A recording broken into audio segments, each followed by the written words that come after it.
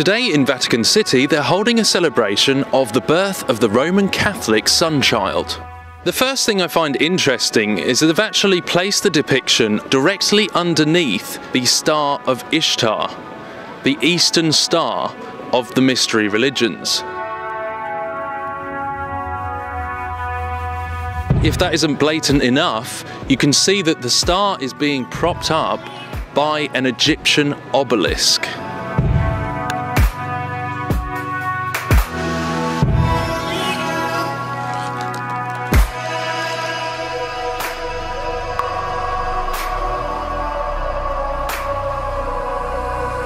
So straight off you can see that this is a counterfeit copy, a mirror of the real thing. Then of course you've got this giant Kabbalistic tree and also accompanied by other ancient symbology that should make it absolutely clear that this represents the birth of the sun god of the Babylonian mystery schools.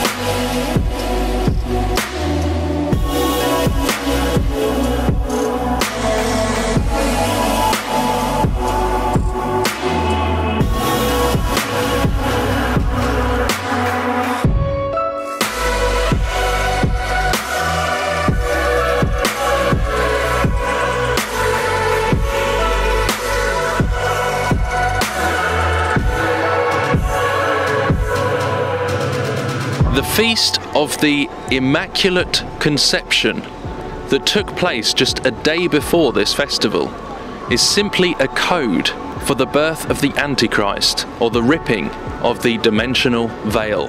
And I saw a star fallen from heaven to earth, and he was given the key to the shaft of the bottomless pit. He opened the shaft of the bottomless pit, and from the shaft rose smoke like the smoke of a great furnace.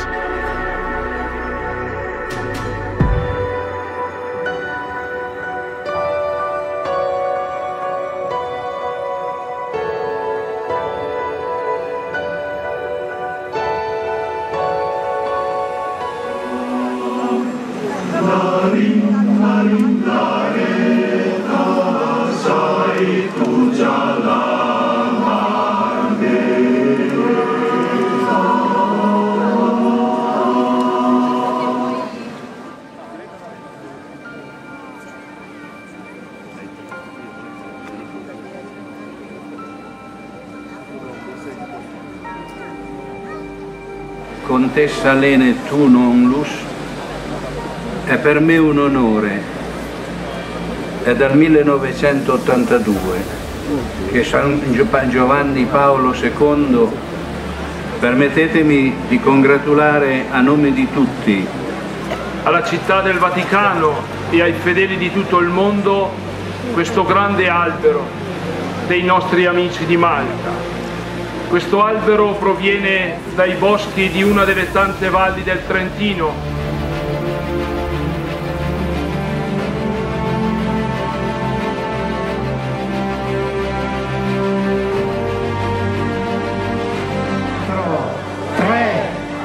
对。无能。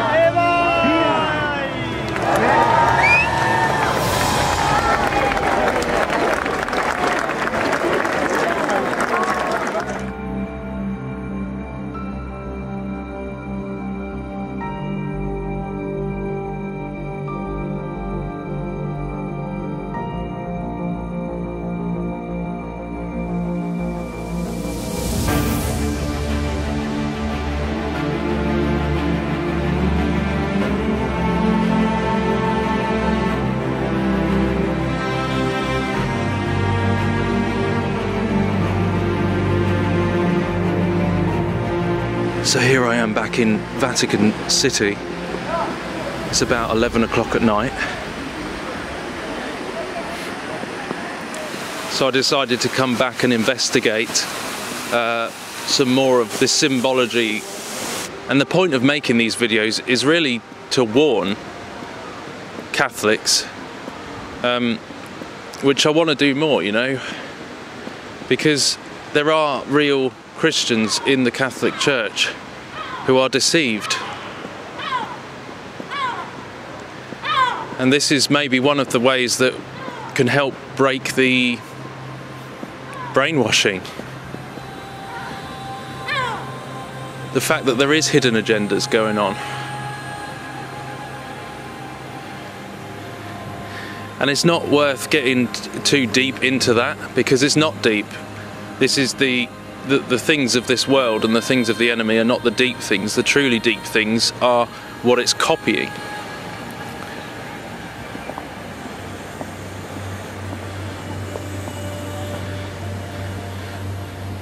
the truly deep things are the things of God. And why do you think they keep constantly mirroring and copying and inverting these things to?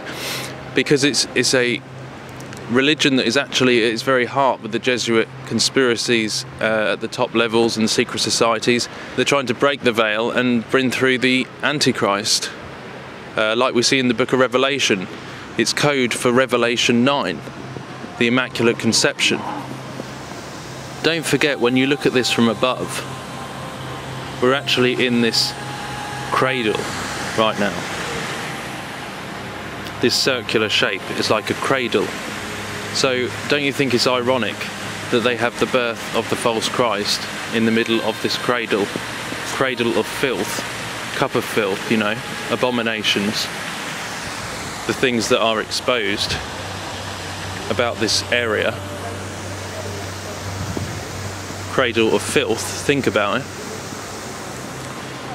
And this this whole thing here that I'm standing on is a clock.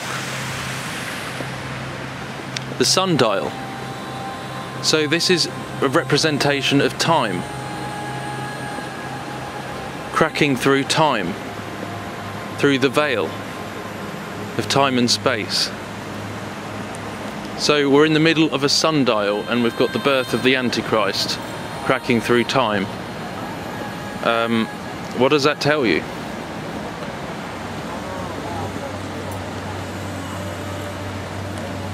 It's that false Hegelian battle of light and dark that they use.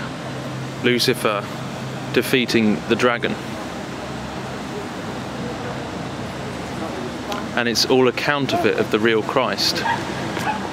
They're just copying and mirroring and using this as a masquerade. So as I was saying, there's always two sides to the same coin, and there's a hidden, hidden side and a, a side that's in view, esoteric and exoteric. So the public are told that this is about Malta and a vicar going to Malta but I ask you, you see the, the big Maltese cross, which is essentially the Jesuits and the Knights of Malta and all that. But my question to you, as we know that there's some hidden sides to this, do you think that this is representing the disclosure, the Black Pope, the Vicar of Christ, heralding the birth of Nimrod, the Antichrist?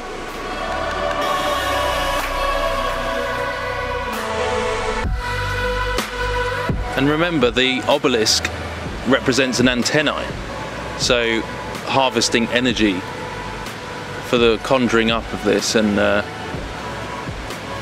you know, this has been the the ultimate goal all through these many, many centuries and centuries since Babylon.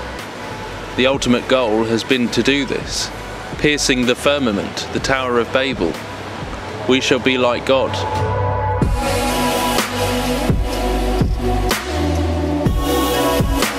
This is the ultimate goal of the mystery schools.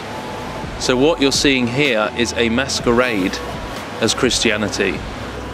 And that obelisk represents the uh, phallic with the circumcision of ancient Egypt the false circumcision, the synagogue of Satan. Technically, those who say they are Christians but do lie. Because this is all part of the ancient mystery schools of Babylon. It goes back to Babylon and Egypt. What does the Bible tell us about those?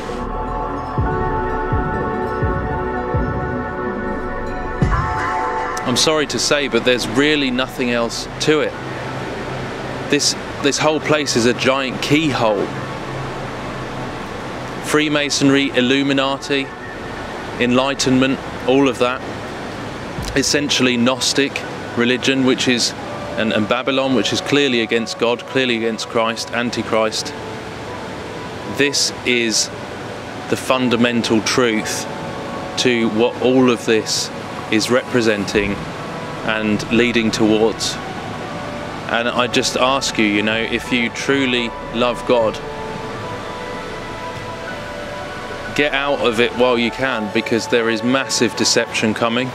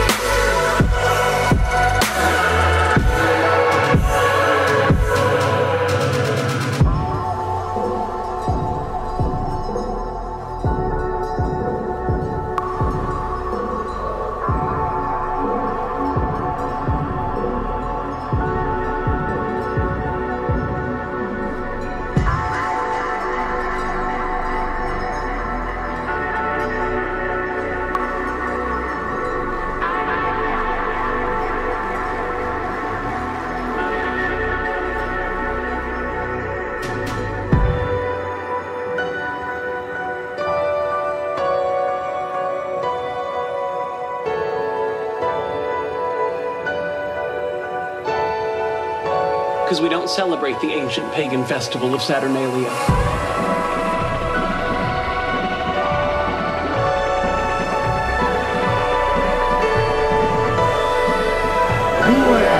Uno.